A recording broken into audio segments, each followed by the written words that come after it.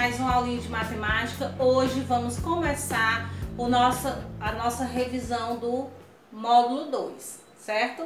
Então você vai fazer agora a 181, a 182 e a 183, tá? Revisãozinha, né? Facílima. Забуду и на любимая мое Твое имена и на любимая мое Vamos corrigir agora? Página 181, primeira questão. Para acomodar o público em um recital, né, que é uma apresentação musical de piano, as cadeiras serão colocadas em fileiras. Determine quantas cadeiras serão dispostas se houver oito fileiras com nove cadeiras. Facílimo, né? É só multiplicar. 8 vezes 9, 72. Certo? 8 vezes 9 igual a 72. B. 13 fileiras com 15 cadeiras. 13 vezes 15. Tá, gente? Ó, não tem segredo. Item A, você vai fazer 8 vezes 9. E no item B, você vai fazer 13 vezes 15. Certo? Só multiplicar os dois números e dá 195, certo? Segunda, em cada item há uma sequência de números com uma regra. Determine os três próximos números e descreva a regra. Do item A, era só multiplicar vezes 3, tá? Então, cada número seguinte é o triplo do anterior. Então, 4, 12, 30, 36, 108. Vou botar aqui, ó. Item A, 108, 324 e 972. Era só multiplicar por 3, ó. Tá? Que ia dando o número seguinte. Certo? No item B, 5.120, 2.560, 1.280, 640, 320 e 160. Qual foi a regra para descobrir o item B? Era a metade do número. O próximo era a metade do anterior, tá? Então, ó, 640, o próximo número, como era a metade, 320. A metade de 320, 160. Então, a regra era essa, a metade, tá? Então, questão 3, vamos ver como é que vai ficar aqui, ó. Vai ficar 39, tá? No primeiro, vezes 41, né? Então, fica 39. Aí fica... Então, ó, você ia completar esses dois e esses dois certo? O próximo é 15. Você ia completar esses dois. No item B,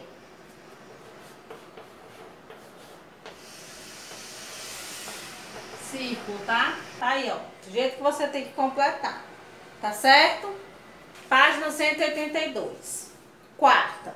Valentina recebe R$ 2.300 de salário. Dessa quantia são gastos 900 com aluguel, 350 com supermercado e a metade do que sobra é reservado para despesas da casa. Quantos reais Valentina reserva para despesas né, da casa? Então, 900 do aluguel, mais, cadê? 350 do supermercado, dá igual a quanto? 1.250. Aí ela tem os 2.300 do salário dela, menos 1.250, que é o que ela gasta, certo? Dá 1.050. Desses 1.050, a metade é o que ela gasta com as despesas de casa. Não é isso? Então, 525 é gasto com as despesas de casa. Quinta, observe a seguir a tábua de passar roupas e meça o ângulo indicado. Ele está mostrando aí, né? O ângulo indicado é agudo, reto ou obtuso. Né? Esse aí de 64, né? Pintadinho de azul aí, ó. É um ângulo agudo. É menor do que um ângulo de 90 graus. B. Em sua opinião, o que aconteceria com a, tá, com a tábua de passar roupa se o ângulo indicado fosse de 120 graus? E se fosse de 180? Acho que ela abriria to totalmente assim, né? Ia mudar totalmente a estrutura da tábua, né, de engomar. Ela não ia mais ficar nessa posição. Questão 6.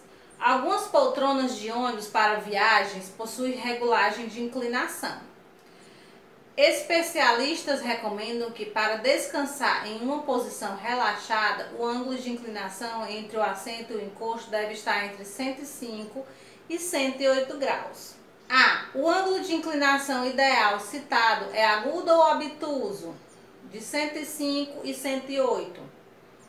Ele é o que? Obtuso, né? Que ele é maior que 90 graus. Então ele é obtuso. B. Qual das, das poltronas acima está na posição correta para descanso? A que tem 107 graus ou que tem 89 graus?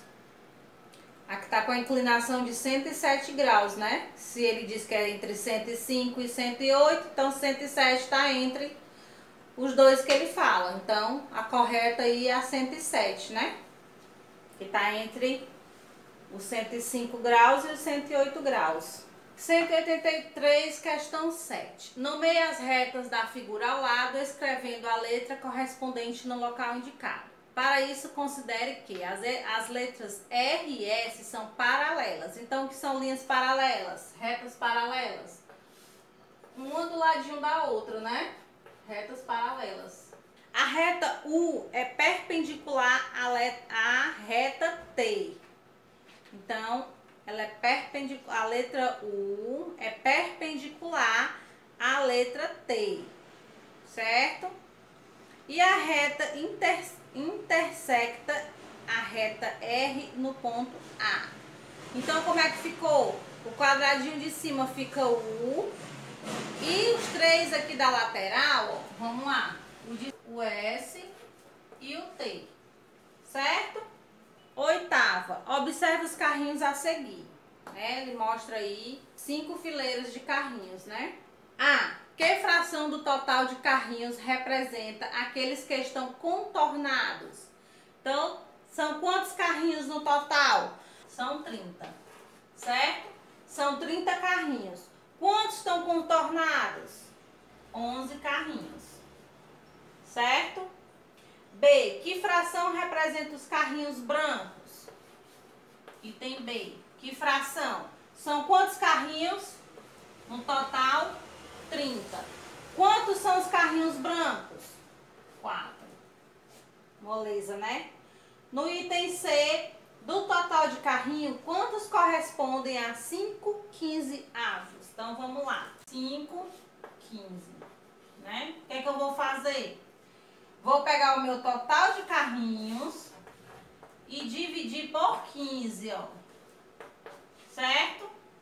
Que vai dar o quê? 2. Esse 2 aqui, eu vou multiplicar ele por 5. Que vai dar o quê? 2 vezes 5, 10. Certo? Então, 5 quinzeavos corresponde a 10 carrinhos. Na outra bolinha, que é 7, 10. 7 décimos, né? 7 décimos, o que é que eu vou fazer? Vou pegar o 30 dividido por 10, que dá igual a quem? 3. E vou pegar esse 3 e multiplicar por 7, que dá igual a quem? 3 vezes 7, 21. Certo? 21 carrinhos. E o próximo, a próxima fração é 3 quintos. Então, vamos lá. 3 quintos. Vou pegar. É 30. 30 dividido por 5. Dá? Agora, assim. Certo? Tá certo?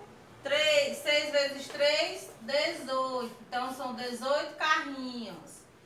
Então, concluímos aí a aula de hoje, certo? Próxima aula, vamos continuar essa revisãozinha, ok?